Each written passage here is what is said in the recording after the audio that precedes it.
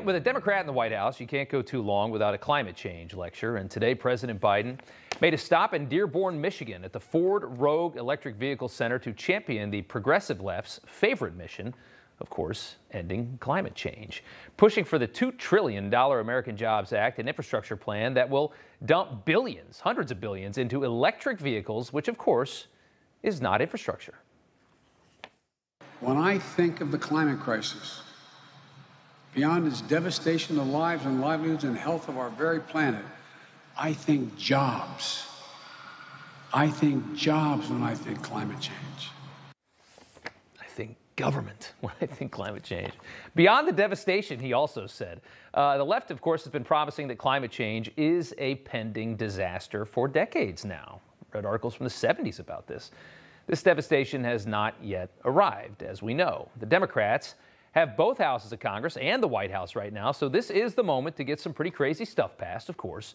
Anybody who's actually read up on this American jobs plan, the infrastructure bill as they call it, knows the real truth. Infrastructure was the last thing on the minds of the people who wrote this bill. This is about further socializing our society through more entitlements and government picking winners and losers when it comes to energy.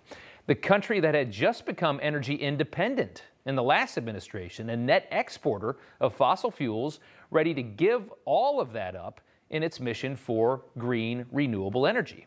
But of course, you don't sell a radical left wing bill like that. You sell it with a 78 year old fake moderate career politician who's been in D.C. for 45 years, talking like an old fashioned gritty American about jobs and unions and roads and highways and airports. Take a listen.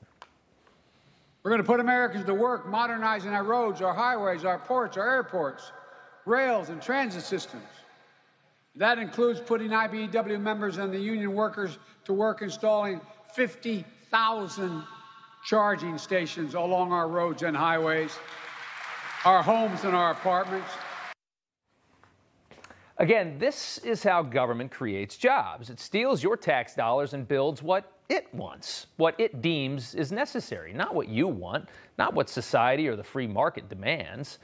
By the way, that zippy new Ford F 150 Lightning that Biden was driving around in today, it's going to cost you about $70,000. It's really a statement on how expensive everything's getting in this country. But Biden and company are making that electric truck look more attractive every day as they force the price of gas through the roof. They're really good at that. It was a buck 87 last year. Now it's over $3. Democrats claim to be the party of science, but they are not the party of logic, it would seem. How many environmentalists have actually had an honest conversation about how their Prius actually runs? Democrats love to pretend that these zero emission, battery powered, funny looking little cars just run on fairy dust. Every electric car owner has a charger in their garage. That charger is plugged into a wall. That outlet is charged by a power company, and that power company probably burns coal, maybe natural gas, something else to get their power. According to the Energy Department itself, look here, about 60% of this electricity generation was fossil fuels, coal, natural gas, petroleum, and other gases. About 20% of it was nuclear, and about 20% was from renewable energy sources. So that's how this country is powered, and that is how your Prius is powered. 20% of it from renewable. Democrats, of course, hate that reality. They want to end fossil fuels. Here, of course, is the rallying cry. Our North Star is 100% renewable energy. Because it has to be replaced by renewable energy. A transition to renewable energy. We need massive renewable energy. Renewable energy. And there's nothing wrong with renewable energy. I would put solar panels on top of my house. I get it. But it ain't there yet. The left wants to redesign our entire energy policy around solar and wind. But interestingly enough, the social justice warriors inside the White House are pushing back against some very common sense alternatives to the traditional burning of fossil fuels like carbon capture and nuclear. Check out this headline from The Hill. White House environmental justice advisors express opposition to nuclear and carbon capture projects. Dan Crenshaw, one of our favorites here, comes in with a great response in a tweet. Tell me you're not serious about reducing emissions without telling me you're not serious about reducing emissions in response to that article.